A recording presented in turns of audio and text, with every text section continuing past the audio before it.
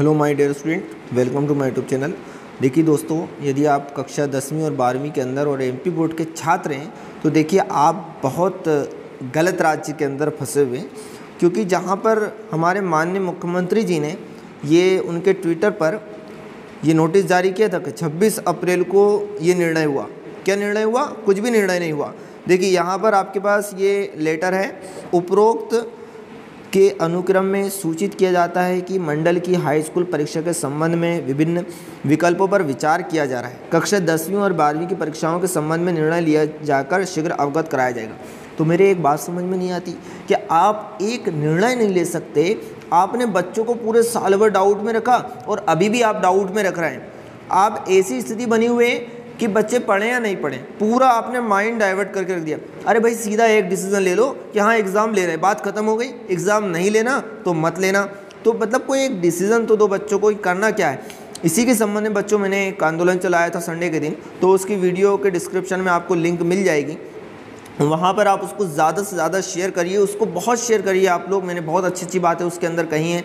तो देखिए, आप लोगों के साथ बहुत ज़्यादा धोखा हो रहा है और इन्होंने देखिए यहाँ पर क्या कहा है कि बोर्ड द्वारा सोमवार 26 अप्रैल 2021 को जारी नोटिस के अनुसार मंडल की हाई स्कूल परीक्षा में संबंध में विभिन्न विकल्पों पर विचार किया जा रहा है। अभी तक विचार किया जा रहा है। बड़े अफसोस की बात है। कक्षा दसवीं और बारहवीं की परीक्षाओं के संबंध में निर्णय लिए जाने के बाद शीघ्र अवगत कराया जाएगा। तो दोस्तों, यहाँ पर मैं आपको बता दूँ, कोविड नाइन्टीन महामारी के बीच मध्य प्रदेश बोर्ड परीक्षाओं की तारीखें, पैटर्न और मोड ऑनलाइन या ऑफलाइन पर निर्णय लेकर सोशल मीडिया की खबरों के मुताबिक कल 26 अप्रैल को एक बैठक में निर्णय लिया गया। सूत्रों के हवाले से प्रकाशित खबर के अनुसार, मध्य प्रदेश, यहाँ पर आपके पास लिखा है, Madhya Pradesh board high school परीक्षा 2021 को रद्द कर दिया गया है और स्टूडेंट को सीबीएसई के तर्ज पर इंटरनल असेसमेंट के आधार पर प्रमोट किया जाएगा। और इस रिपोर्ट के अनुसार हायर सेकेंडरी परीक्षाओं को लेकर फ़िलहाल स्थगित कर दिए गए और यहाँ पर आपको बता दें कि फैसला कोई अभी यहाँ पर आपके पास लिखा है ना, अंतिम फैसला बाद में लिया जाएगा। अब बताइए अब आप। अंतिम फैसला बाद में लिया जाना है, हालाँकि इस संबंध में मध्य प्रदेश माध्यमिक शिक्षा मंडल ने आधिकारिक रूप से कोई भी सूचना जारी नहीं की है। इसलिए आधिकारिक अपडेट के लिए स्टूडेंट को सलाह दी जाती है कि बोर्ड की ऑफिशियल वेबसाइट पर समय समय पर विज़िट करते रहें।